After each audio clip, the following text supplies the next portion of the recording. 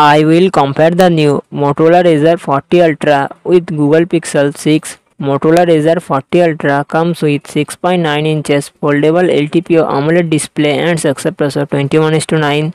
Google Pixel 6 comes with 6.4 inches AMOLED display and success ratio 20:9. Motorola Razr 40 Ultra run on the Android 13 operating system.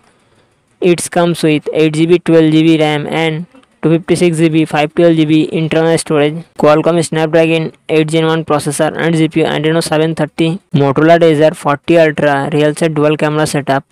12 megapixel plus 13 megapixel and its front camera 32 megapixel 3800 mAh battery and 30 watt fast charging support google pixel 6 run on the android 12 operating system it comes with 8gb ram and 128gb 256gb internal storage google tensor processor and its gpu mali g78 google pixel 6 real set dual camera setup 2 megapixel plus 12 megapixel and its front camera 8 megapixel 4640 mAh battery and 30 watt fast charging support